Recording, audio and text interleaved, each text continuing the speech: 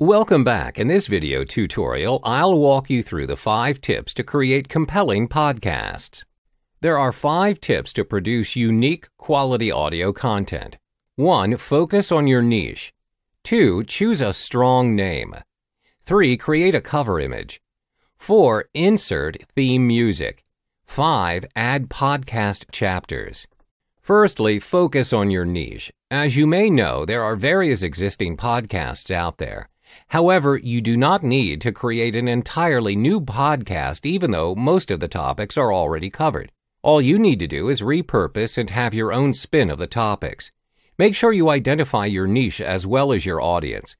It's better to be as specific and clear as possible on what you want to venture into. For instance, if you choose to create a podcast on internet marketing, you may focus your podcast on how to be a successful internet marketer. The second tip is to choose a strong name for your podcast. The name you choose for your podcast is important as your audience will search for your podcast using it. It also reflects exactly what your podcast is about. Thirdly, you need to create a cover image for your podcast. This is the first thing your audience will see once they come across your podcast. Therefore, it must be captivating enough to attract their attention. An image is also required if you wish to list your podcast on the iTunes directory. Make sure that your podcast cover is also related to your content.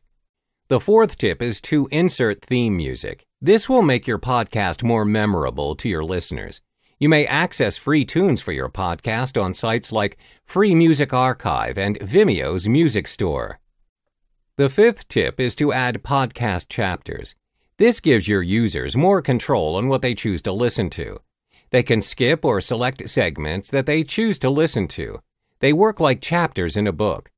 When arranging your podcast in chapters, it represents your podcast in a more organized manner.